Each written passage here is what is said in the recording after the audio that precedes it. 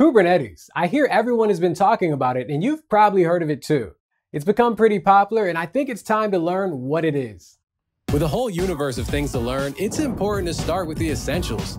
Let's go over the concepts that make Kubernetes usable, scalable, and just downright awesome. Are you ready? Hey, Kaslin, good to see you. I was just going over what Kubernetes is. That sounds like fun.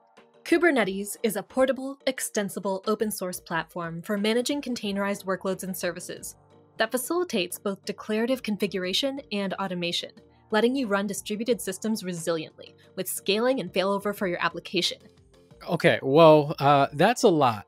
Do you have a way to simplify that? Good call.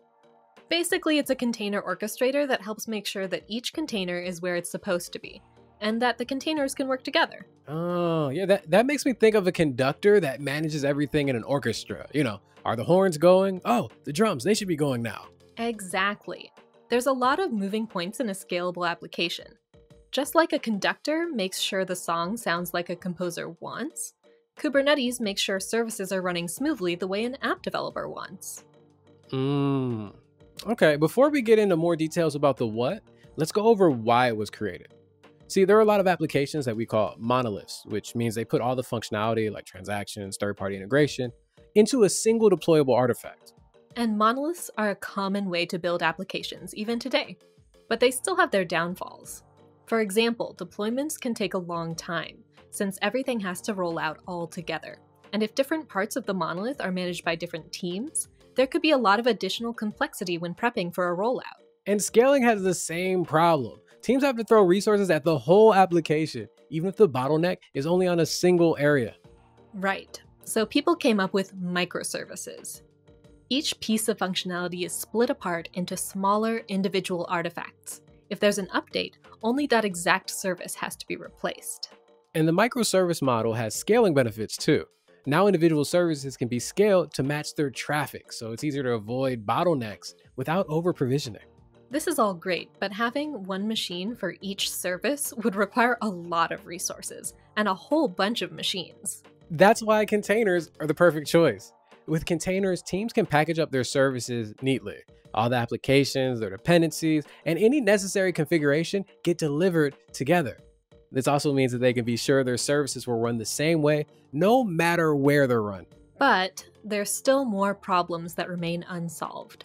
Upgrading a container is easy since you can create a new version of the container and deploy it in place of the old one. But how can upgrades be done without downtime? How do these containers know how to talk to the other ones? And how can the app developer debug issues and observe what's happening? And now we've come back to the conductor of our container orchestra. Kubernetes is all about managing these containers on virtual machines, or nodes, the nodes and the containers they run are grouped together as a cluster, and each container has endpoints, DNS, storage, and scalability. Everything that modern applications need, without the manual effort of doing it yourself. Kubernetes automates most of the repetition and inefficiencies of doing everything by hand. The app developer tells Kubernetes what it wants the cluster to look like, and Kubernetes makes it happen. See, this all sounds amazing. So, everyone should just switch to Kubernetes, yeah? Well, not so fast. Microservices still have their own unique challenges, and sometimes a monolith can be the right solution, based on what's right for the application itself. And monoliths can still run on Kubernetes, even though they won't be able to use all the same benefits. Hmm. Either way, how do you know when you're ready to get started with Kubernetes? Well, the first step is to start using containers. That's easier said than done, but let's save that for the next episode.